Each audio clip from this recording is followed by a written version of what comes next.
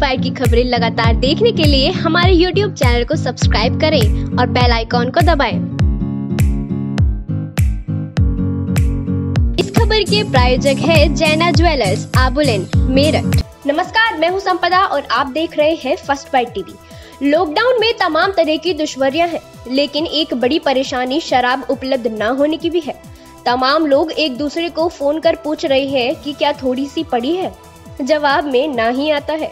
इस बीच इतना अवश्य हुआ कि लॉकडाउन से पहले जिन शराब की दुकानों व ठेकों पर स्टॉक भरा हुआ था, वहाँ लॉकडाउन की अवधि में साफ़ हो गया है। शराब, गुटखा व बीड़ी सिगरेट की दुकानों के संचालकों ने इस दौरान मोटा मुनाफा कमाया है। कुछ लोगों ने खुली खिड़की से तो कुछ लोगों ने पिछले रास्ते से अपने पाँव बाहर किए हैं।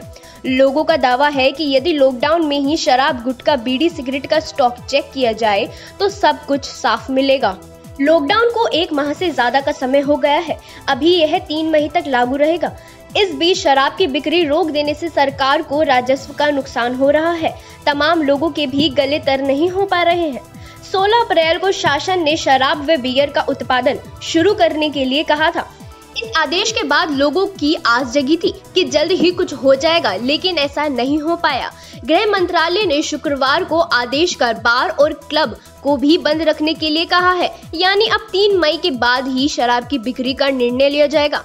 इसी क्रम में सरकार, बीड़ी सिगरेट, गुटखा व तंबाकू की बिक्री पर रोक लगा चुकी है। यह बात और है कि इस बंदी के बावजूद इस वक्त कहीं पर भी स्टॉक नहीं है। मेरठ में ऐसा कोई ठेका अथवा बार नहीं है जहाँ अभी भी स्टॉक रखा है। बताया जा रहा है कि लॉकडाउन का फ़ायदा उठाते हुए ठेकेदारों ने खूब ऊँचे दामों पर शराब, बीड़ी, गुटखा, तंबाकू बेचा है।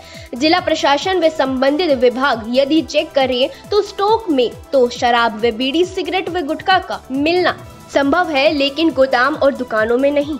इसी के साथ मुझे इजाज़त दीजिए। ऐसी और भी खबरें जानने के लिए हमारे YouTube चैनल को सब्सक्राइब करें और वीडियो को लाइक और शेयर। तब तक मुझे इजाज़त दीजिए। नमस्कार।